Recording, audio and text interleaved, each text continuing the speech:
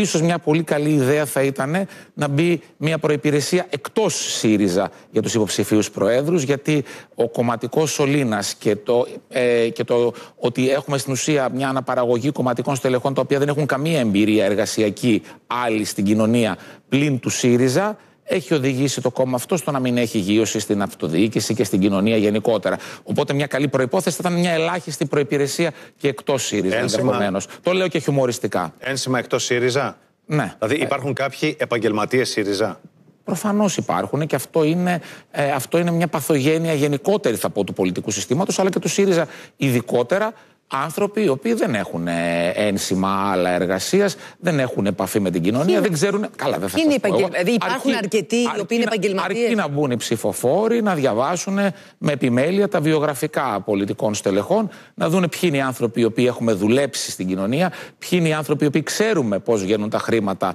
και πώς είναι να, βι, να βιώνεις καθημερινά την αγωνία της επιβίωσης και ποιοι είναι οι άνθρωποι οι οποίοι γεννήθηκαν μέσα στο κόμμα, μεγάλωσαν μέσα στο κόμμα και στη συνέχεια απομυζούν στην πραγματικότητα αυτό Ξέρετε το κόμμα. κάτι, απομυζούν αυτό το κόμμα.